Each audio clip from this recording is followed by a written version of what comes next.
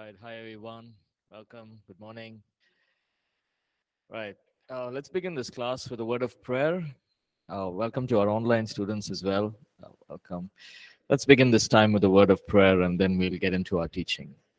Father, we thank you for this time.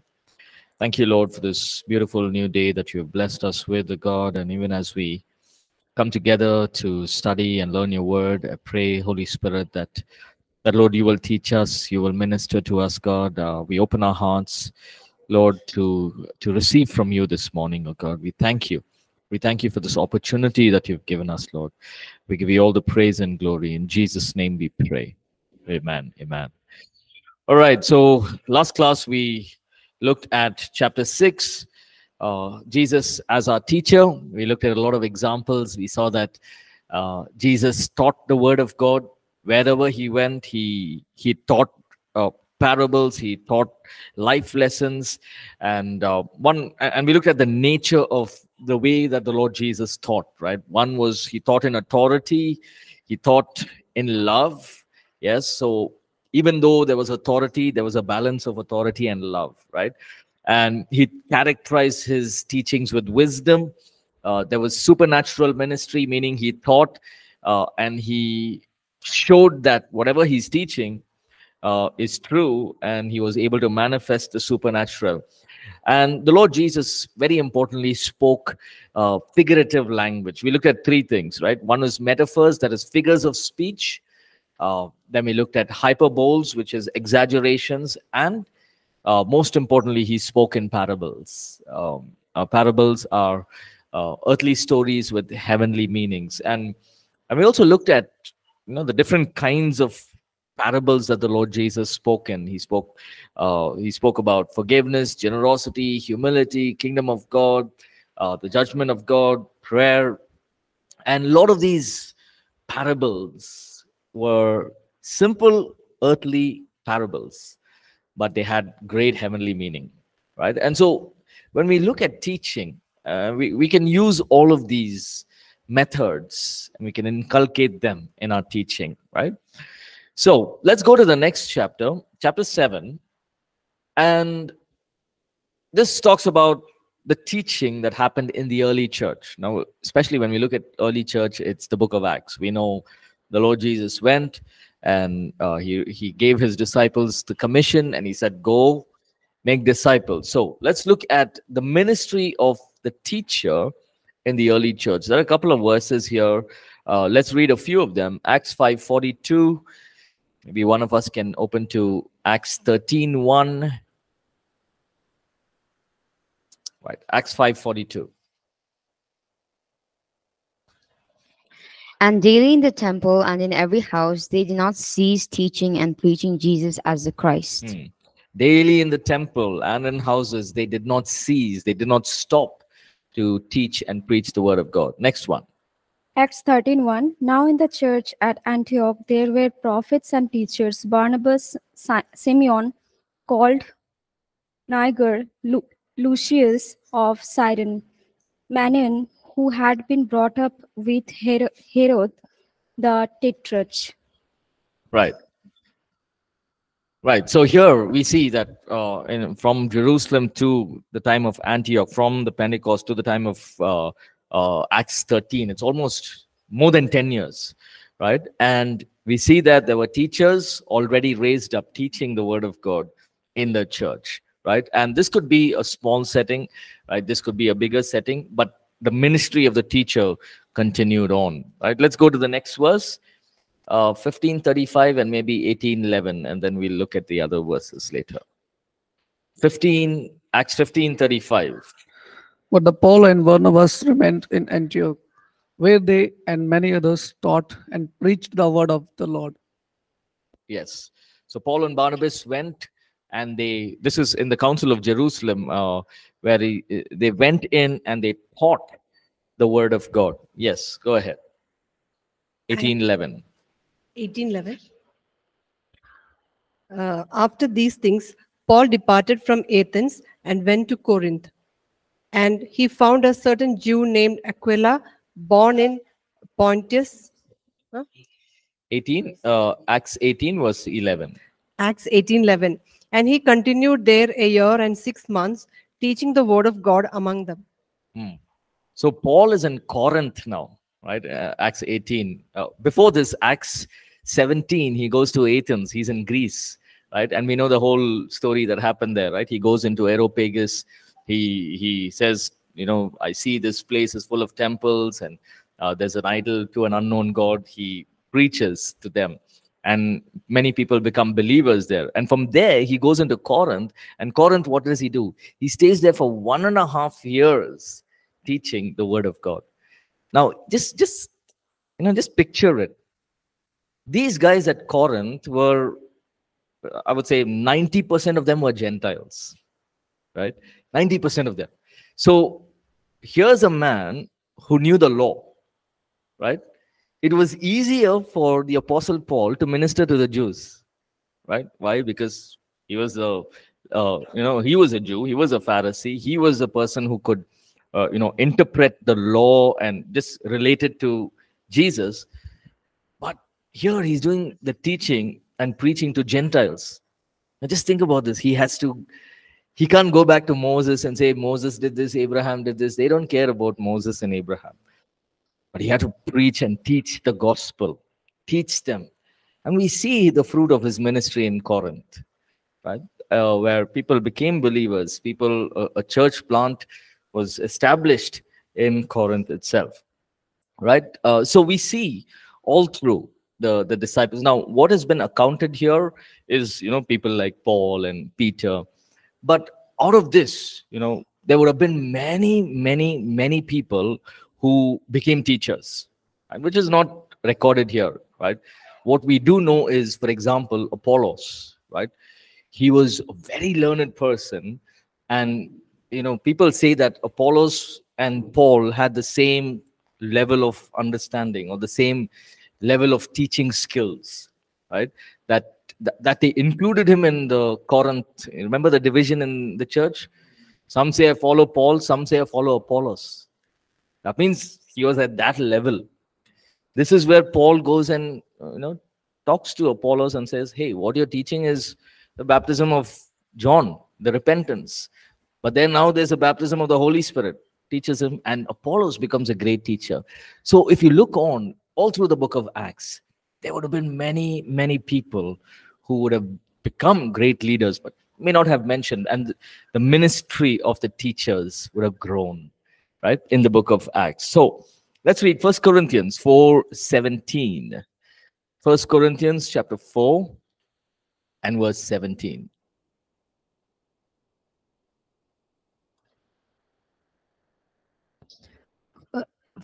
First Corinthians 4:17 For this reason I have sent Timothy to you who is my beloved and faithful son in the Lord Mhm. who will remind you of my ways in Christ as I teach everywhere in every church. Right. Now, look at this. In Acts 17, Paul has gone to Corinth. He's done all the hard work. The church has been planted. And one and a half years he's there. He moves on. Now, many couple of years later, he he we know the problem in Corinth, right? There's division. There are the gifts of the Spirit. People are not able to identify how to, you know, work in those gifts of the Spirit. And so, what does Paul say? This because of all this division, I am sending Timothy, my son, who will do what? He, he doesn't say he doesn't say who will uh, you know uh, make you straight or he will make things right in the church, right? Of course, that was the reason why Timothy was sent. But the main thing was so that he will teach you what you must do. Right? So you see the emphasis of teaching. Teaching enables a person to, you know, to choose the right way. What is Paul, uh, sorry, uh, Solomon, David, and if you look at the ministry of David and his son Solomon, David says to Solomon, David, uh, talking about his son, he says, Solomon, don't do the mistakes that I made. Right? You follow God, obey his commands. You will have a long life. Solomon made all the mistakes, right? But he says to his children, to the people of Israel, don't do the mistakes that I made. God is faithful. God loves you. God has a plan for you. And there's a time for every season. And, and he goes on talking about wisdom, about Uh, if you read the whole of Proverbs, it's entirely about teaching. Right? It's words of wisdom. Right? And Solomon is telling his people, don't do the mistakes that I did. In my youth, I made a lot of mistakes. You don't do it. And teaching helps us, right? Imagine we, you know, we we uh, in, uh, for example in ministry, if we had somebody who's you know always telling us, okay, don't do this. When I did this, this was the mistake that I made, and these were the you know the challenges that I faced, right? The circumstances for my mistakes and so when we have people who are able to input into our lives there's so much that we can avoid yes right and and i i thank god that at a young age people began to tell me especially after joining ministry okay you do this do don't do this this will work uh, and again god's word that will the holy spirit who's our great teacher will teach us right so paul here is sending timothy to a place which is confusion, which has strife, which has jealousy among believers, but he's going there to teach them. I can just picture what Timothy would be saying. Timothy would have said, Okay, I know what's going on here. Sit down. See, this is what God's word says. This is what Jesus did. This is how we must live our life. This is how it is. And he probably stayed on and taught them day after day after day right? See, right now, all of us, uh, most of us, all of you, you finished one year. Now, if you look back from the time you have joined, have you grown in the word? Definitely. Is there a scale, measurement scale? No. You can't measure that, but you know this teachings have gone in some of them and they will bear fruit in your life. Now, in one year down the line, will you be the same? No, because the teachings not only in bible college but also things that you uh, you know teachings that you listen online or preachers and teachings uh, all of that goes in and makes us uh, to improve the spiritual maturity we learn we outgrow certain things and that's really important. So let's look at some of the instructions uh, of the teaching in the new in the early church right? And some of the uh, instructions that god is giving us as teachers right? We saw the method of teaching last class right? Love authority characterized in wisdom right? Speaking in parables uh, figures of speech hyperboles uh, speaking in love uh, making sure that what we teach is true but now let's look at some of the instructions that god is giving us as teachers right? First one, the teaching believer. Let's look at Romans chapter 12 and verse 7. Somebody can also open to Colossians 3.16. Romans 12 and verse 7. Our ministry, let us use it in our ministering, it who he who teaches in teaching. Right. If it is serving, let him serve. If it is teaching, let him teach. Right? So every believer, so Paul is writing here to again believers, and he's saying every believer. He's not excluding people. He's saying every believer, if your ministry is serving, serve. Your ministry is teaching, teach. If your ministry is preaching, preach. Whatever your ministry is, do it. Right? Let's go to Colossians 3:16. This is a familiar verse. Colossians 3:16. Colossians chapter 3 verse 16. Christ's message is in all its richness must live in your hearts. Hmm. Teach and instruct each other with all wisdom. Sing psalms, hymns, and sacred songs. Sing to God with thanksgiving in your hearts. Yeah. This is a wonderful verse. We often quote it every time. Let me read from the uh, NIV version. It's it's it's put out very beautifully. Let the word of Christ dwell in you richly as you teach and admonish one another. Right now, again, these are just believers. But Paul is saying that the word of Christ dwell richly in you, that you may teach and admonish one another. Right. So yes, always remember there is the gift there is the function all of us can do this Like none of us can say, "Hey, I'm, I, I I think I'm only, you know, I only want to evangelize. I only want to lead worship." No. If the opportunity comes, teaching, all of us as believers can teach, right? Uh, so every one of us, the teaching believer, you're a believer, God is calling you to teach, teach. It could be a small setting, five people, 10 people, 100 people, 200 people, doesn't matter. Teach the word of God. Two is the ministry gift of teaching. That's what we are, we are talking about, right? Let's read, uh, uh, we know Ephesians 4.11, but let's read 1 Corinthians 12 and 28. Ephesians 4.11 talks about the fivefold ministry. Uh, but let's read 1 Corinthians 12 and verse 8, 28. Yes, go ahead. First Corinthians uh, 12, 28.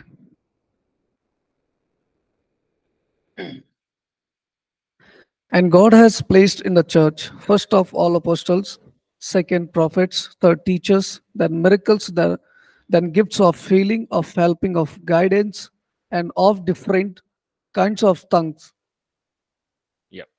Now, uh, it's very important to understand this verse, right?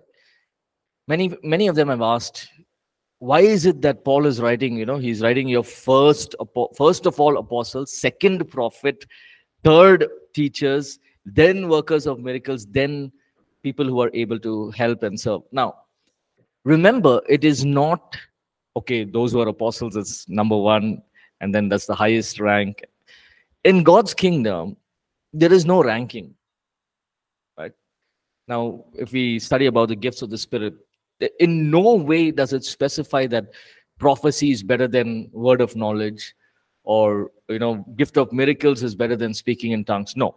All gifts are the same given by one spirit right? So same thing here.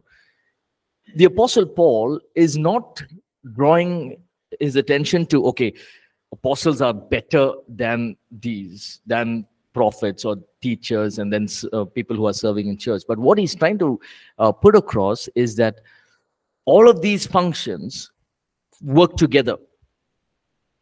These are different functions working together in the body of Christ. Right? So it doesn't mean that this is there's a hierarchy or there's a ranking. No. We can be serving in the church and also prophesy. We can be doing sound and setup in the church and also teach people you get what I'm saying, right? So there's no hierarchy, right? You know, but somehow, you know, in the church, when we look at the church overall, especially in our nation, uh, we see that there's oh, we, we take people and put them on a pedestal. Oh, he's a prophet, he's an apostle. What are you doing? I'm volunteer. Uh, you go and stand in the corner. That, that's that's whose fault? It's our fault. We did that. We have know, sometimes when we go to uh, certain places in North India, uh, we get these opportunities. It's it, they have a genuine heart, right? They love the pastors. They love that's good, honoring the pastors, honoring. But when we overdo it, what will happen? Yep, the person will become a balloon, right? I'll carry your water bottle. I'll carry your bag. Come, I'll open the door for you, right? Sorry? Like a butler. No? no, but it's true, you know. And and you know, when there are times when we see it, uh, we don't say anything because it's not their fault. It's not the pastor's fault or the prophet's fault. It's our fault, the believers. Yes, we need to respect, we need to love each other, we need to care for each other, but we know how to look after ourselves.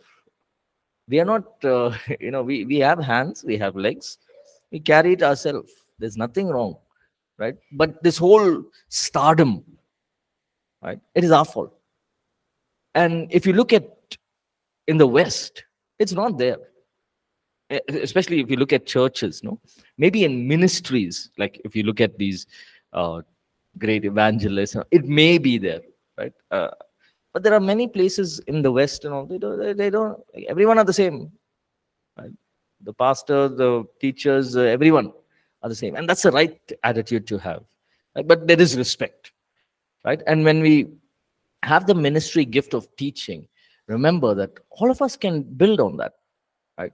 I believe that 10 years from now, when I'm teaching, I should be better than what I am now. If I'm not, then there's something wrong. Right? I have to improve. I have to learn. Right. So sometimes I keep, you know, I, I ask for subjects that I haven't taught, right? So that I can learn, I can study and teach it. Right? And it's a learning for us as well. So the ministry gift of teaching is there for all of us. And then there's a function as well. Right? We talked about that as well. So, so third point, do and then ah. This one I can talk so much. Matthew chapter 5, verse 19.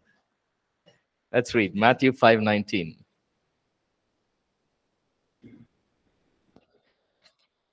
And somebody can open to Romans 2.21 as well. Matthew 5.19.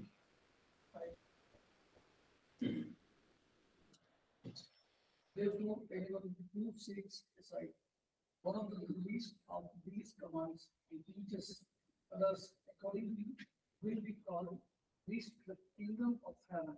But whoever practices and teaches these commands will be called great in the kingdom of heaven. Mm. Whoever teaches and practices what they teach will be great in the kingdom of God. Right? Let's read Romans.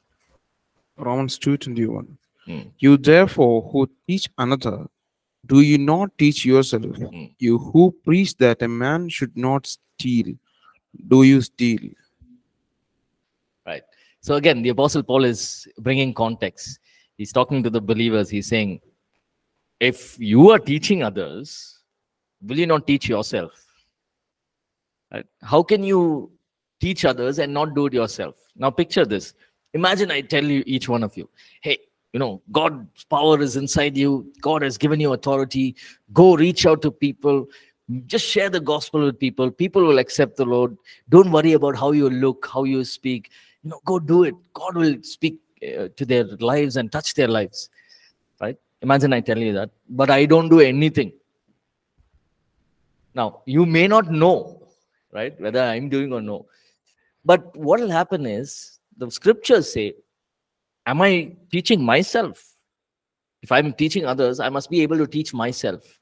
Later on, Paul says, I don't want to be preaching and teaching lest I myself be disqualified from the gospel. Right? So when we are teaching, make sure that we do it. If we are teaching about uh, prayer and intercession, about prayer, hey, we have to pray. God answers prayers. Pray big prayers. Are we doing it in our lives? If we are talking about faith, hey, faith can move mountains. Don't worry about the problems that come. Are we walking in faith first? Because it's easy for me to say, but to practically do, it may be very challenging. Yes or no? Right? That's true. So do and then teach. Teach and then do as well. Right? Very important. Next one. Do not teach the commandments of men. Matthew chapter 15 and verse 9. Matthew 15, verse 9. Matthew 15 9. And in vain they worship me, teaching as doctrines the commandments of men. Now, if you look at the context of this, Jesus, uh, some Pharisees came to Jesus and uh, said, Hey, you are breaking the tradition, you're breaking the law. What is tradition? Tradition is something that has gone on from years, from generations to generation to generation. One of the tradition that we had with growing up was my parents said, night before sleeping, we have to all sit together, sing two songs, read one verse from the Bible, pray and sleep. That is a why I don't know. You have to do it. It's tradition. My my dad, my dad's parents did it, their parents did it, it just came down. Of course, we know it's blessing, but for me, as a young boy, I didn't know. I, oh man, by the time it's 8 p.m., oh shucks, prayer time. And so we knew. You can't say I have fever, I have cold. No, no. And they knew that you, my, my parents were like, you do whatever sin. I know what all wrong things you all are doing, but you all are going to sit for the prayer. That was a set deal. Right? My parents would our parents wouldn't stop us from going out, meeting friends, staying over at friends' house. Would never stop us. We were three boys. They gave us all the freedom. 8 p.m. you have to sit for prayer. You don't tell me any, don't give me any excuse. And we had that thing in our heart. It's a tradition. Now, did, did those prayers help me at that time? No, because I was falling asleep half the time. It was tradition, right? It, it didn't, uh, okay, song, song was good. Okay, we'll sing a few songs. Okay, that was good. But they will read the verse. Okay, read, read something. All of us will take turns. Three of us take turns, read. And then the prayer starts. Oh, God when will this prayer get over? Suddenly, amen. Okay, amen. right. Now it was tradition. Jesus is telling the disciples, You people are going to the temple. Well, are standing there, oh Father God, you are great. You took out Moses from Egypt. You you did you called Elisha, you called they're going on saying the same thing. Tradition. Now Jesus is saying, You all are going there, you're worshiping, but it's all out of tradition there is no heart involved right it's all just because your fathers did it you're doing it now so he's saying here they worship me in vain their teachings are but rules taught by men so the pharisees and the sadducees says when you stand you should stand in this posture when you give the offering you both your hands should be outside forget about heart the way you stand is important right you should wear this kind of dress Right? The lamp should be like this. The heart, that's okay. Let it be somewhere else. Well, this should be right. Traditions, correctly. Right. It's like uh, what we have now, Christmas. What is Christmas now? Christmas tree, Christmas, yeah, parties, carols, chocolates, yeah. Now, gifts, yeah, what else? See, all of us know. Nobody's saying Jesus. right? It's true, right?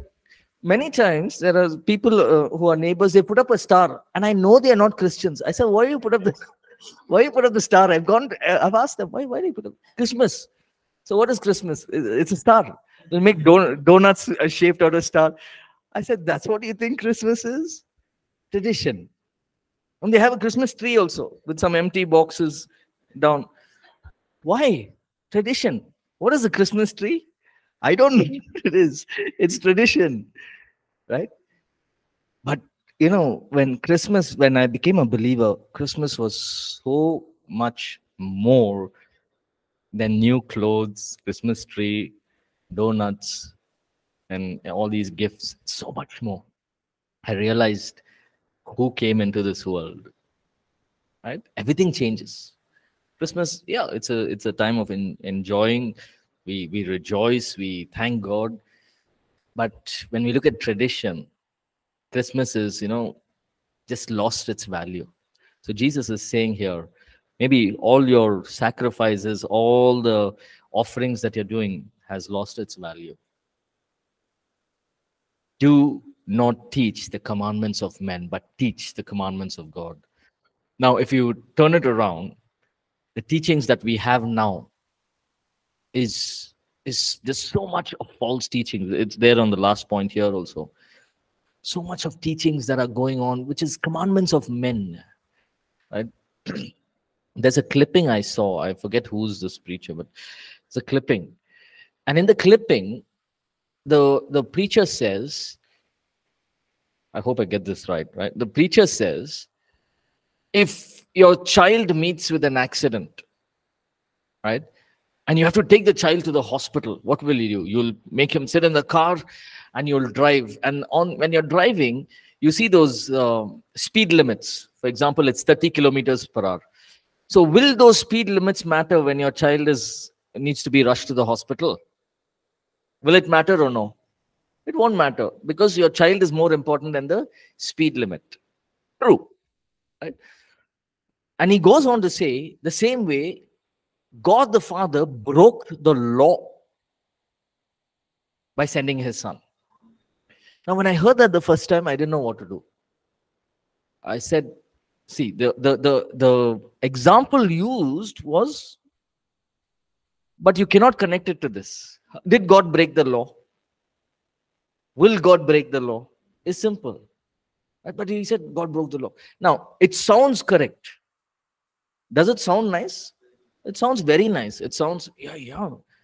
As a father, I will not look at that. I will go 100 to reach the hospital as soon as I can. So here, God broke the law by sending his son.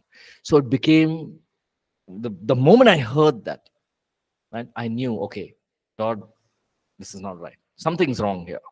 So like that, there are many. Another teaching I heard was, um, I'm just sharing these so that we understand what's happening, right, and be aware of these teachings. Now, another teaching was, uh, uh, you know, the, the you know the story of the Good Samaritan, right? Uh, the man came on the donkey. So the teaching was the the donkey is the church, and the donkey's legs are the four pillars of the church. And those who are broken and bruised and beaten can sit on the donkey and god the, the church will take them to a place where they can be healed. Okay now why did jesus tell the story? He was trying to bring a point. But you see how the teaching goes. So do not teach commandments of men when you're unsure the problem is uh, the problem is when we don't know what to say or what to teach we run out of ideas we come up with our own ideas now we can never run out of ideas from the Bible.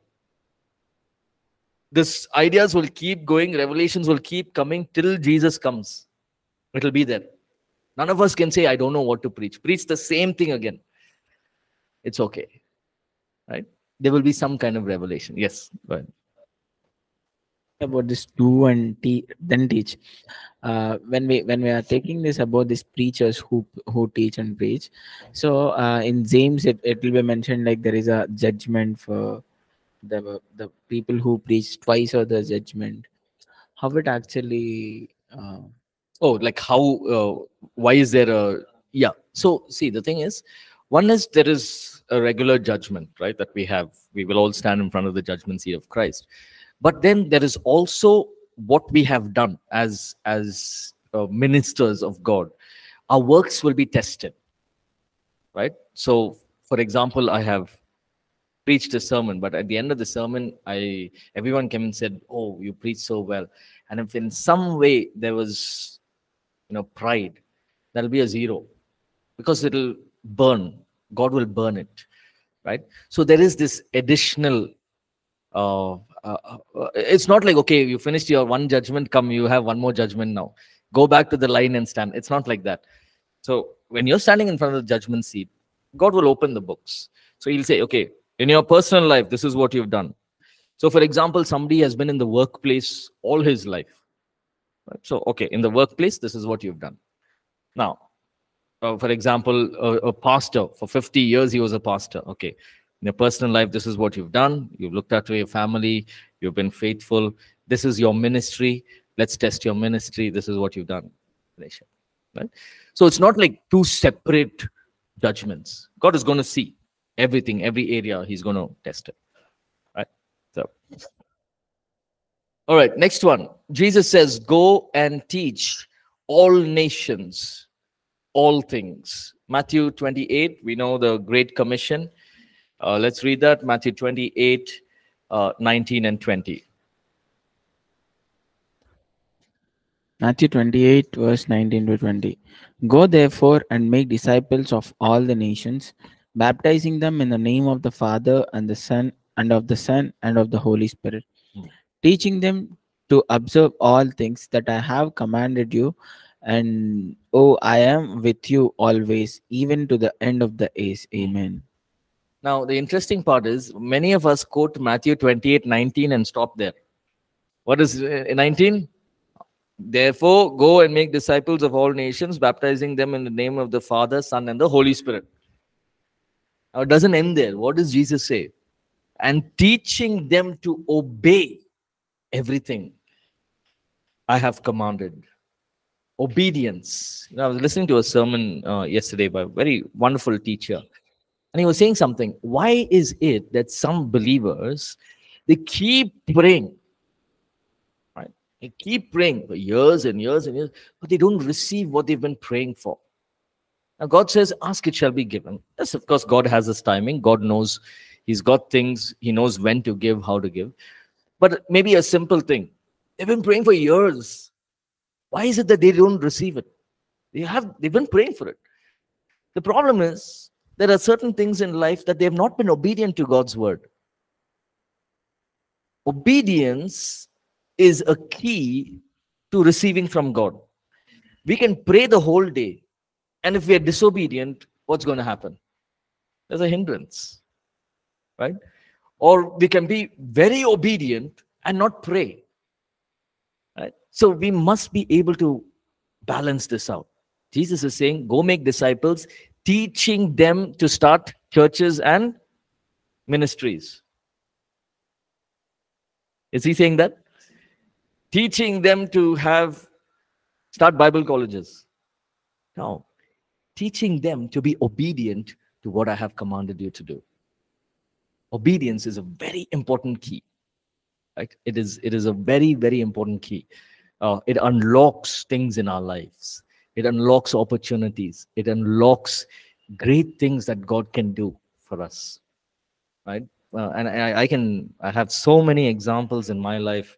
I thank God. It was very hard to be obedient at that time. Right? I remember as a Bible college student, uh, I think the rule was five o'clock that time, 5 a.m. Is it the rule now also? 5 a.m. Wake up in the morning. 5:30. Okay, it was 5 a.m. before. So we used to wake up at uh, five, and I had very good classmate. One guy. I only talked to one guy in my entire class, and so we would we would really, you know, he was very passionate, uh, and he wanted to learn, uh, you know, English. Yeah. No, this is another person. So he wanted to learn English. So we would, you know, eh, and he was very passionate about prayer. I I learned a lot about prayer from him, right? Because he would wake up, he would pray, and he was so passionate about prayer, uh, very focused in his prayer. And so uh, we used to get up at 5 a.m. and pray. Then I remember one day God just ministered and said, uh, "Like, are you satisfied with this?" I said, "No, not satisfied. I want more of you, God." Okay, you wake up at 4 a.m. I just knew. Okay, God is just teaching me. So I told my friend, "Hey, shall we wake up at 4 a.m.?" He said, "Let's do it." So we used to get up at 4. 4 a.m. in the hostel, and we used to, we didn't care whether we're making sound and all. We did whatever we felt like. We started singing loudly, praying loudly. And then we saw what, what used to happen was there was this next to our house, next to the hostel that we were staying in, there were these people who were, uh, you know, four o'clock they would get up and they would pray. Uh, they were not believers, but they would pray to their gods and they would pray really loud, ringing the bell. I said, "Oh man, we should get up before them, because if we get up before them, first prayer should go to Jesus in this area, then others." So set the alarm at 3 a.m. So 3 a.m. we used to get up. 3 3 to 5 we used to pray. Then 5 o'clock everyone used to get up. And then again we used to all pray together. But I thank God for those days. I thank God for was it easy? Our the, the warden who was there, he was only fast asleep. Right. But nobody was there for us to tell us, okay, get up, you do this, do that. Nobody was there. Uh, we could have got up at seven o'clock, get ready, and come to oh, you know Bible call. Nobody will ask us anything, right? Because we were, you know, we were. I was little elderly in my batch. All of them were twenty. Uh, so uh, they will ask us anything. We can do anything we want. I could go out, do anything.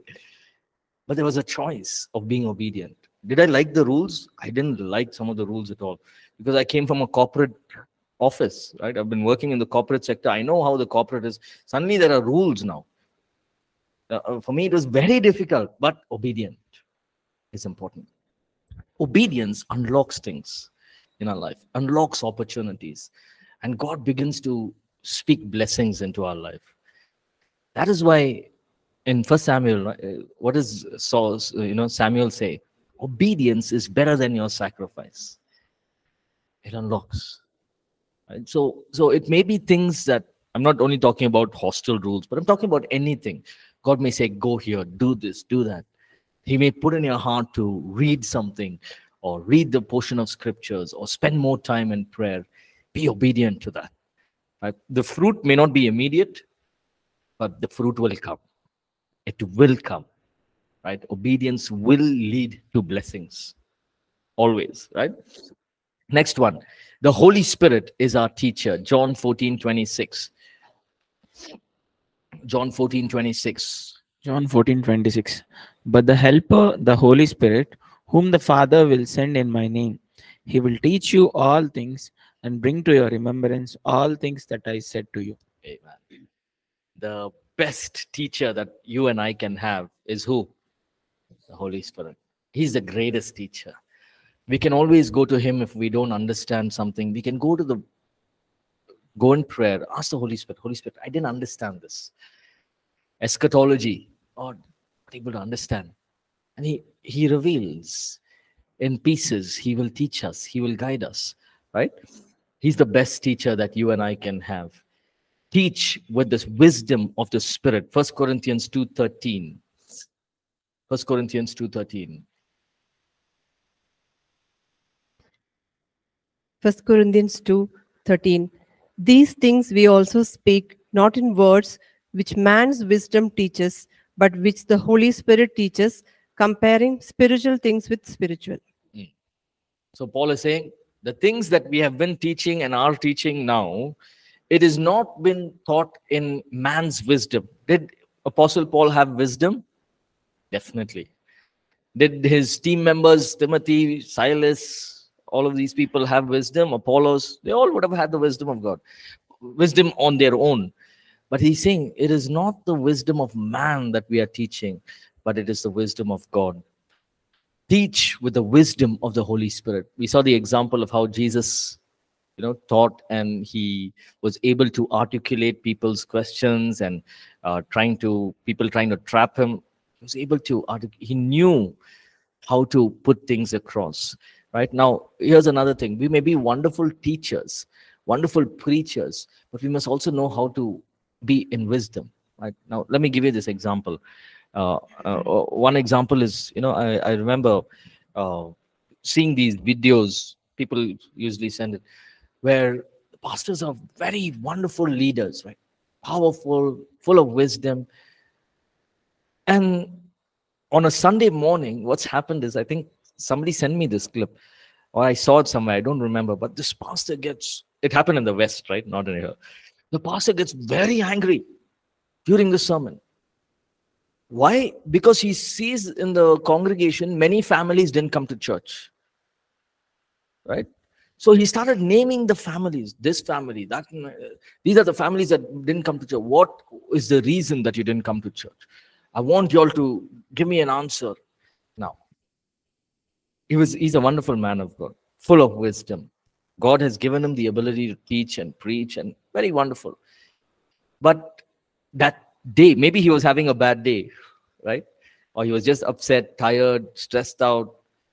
But what happened? He let it out and you know it became a big problem. People asked him why did you have to do that? We have other things. We, we were we were busy or we were probably traveling without knowing how can you say how can you name people who didn't come to the church. And it became a problem. Later he apologized. Of course they forgave him and all of that but then it was not required for all of this to happen right? So uh, when we teach teach with the wisdom of spirit of the spirit ask the holy spirit to guide us right? Uh, it could be in the natural also. Natural things that we say it's very important. You know remember that you know as a pastor what happens is church members they come up to us and say sometimes we think that oh they may not be listening but they come up and they say pastor you said like this. Tell me what does that mean? Right? And sometimes i keep quoting these books that i read and i say this is the book that i read. And they message and ask what is where, where can i get that book which portion which chapter was it you're, talking about? So you know they they grasp. So anything that we say is is important because people are grasping it right? Teach with the wisdom of the spirit right? Uh, we'll stop here and we'll pick up from uh, next class. We'll just make a mark here uh, right? Teach from the wisdom of the spirit right right so we'll pick up from the next class and we'll see because there's a lot of explanation that we can do we can discuss as well in the other points so we'll take some time and uh, you know study that together right any questions from what we have done so far. Right? And when it comes to teaching in the wisdom of the Spirit, over time we learn, right? Uh, just like any anything that we do, uh, over time we learn how to answer questions. We will learn how to, you know, give examples. Uh, we will learn how to when to give examples, how to give ex- what example is required, right? because uh, you know there was this one time I was I was preaching, and after the whole sermon, uh, you know, I, while going back home, I, I I thought to myself, why did I give that example in the message? So I went back, I opened the sermon notes, and I looked at it and I said that example was not even related to what I was saying. Right? And so over time, we learn, okay, put the right example in the right place, and it's an ongoing process, right? Uh, whether it's preaching, teaching, uh, we learn continually. All right. Okay, let's close uh, with a word of prayer and then we will meet uh, next week. Right. Father, we thank you for giving us this opportunity, Lord, and everything that we are we have learned and we're going to learn, Lord, as students of your word. We pray, God, that you will continue, Lord, to speak and minister to each of our hearts, Lord. We thank you. Thank you, Lord, that you've called each one of us to preach, to teach. Lord, I pray that you will empower us, equip us, fill us with your wisdom, your revelation, of God. May the gifts of the Holy Spirit be released in and through us and help us, Lord, to make an impact wherever we go and whatever we do, Lord. Uh, help us, Lord, to build your kingdom, God. We thank you for this wonderful opportunity, Lord. We give you all the praise and glory. In Jesus' name we pray. Amen. Amen. Man, thank you everyone online. Uh, have a blessed day ahead. God bless.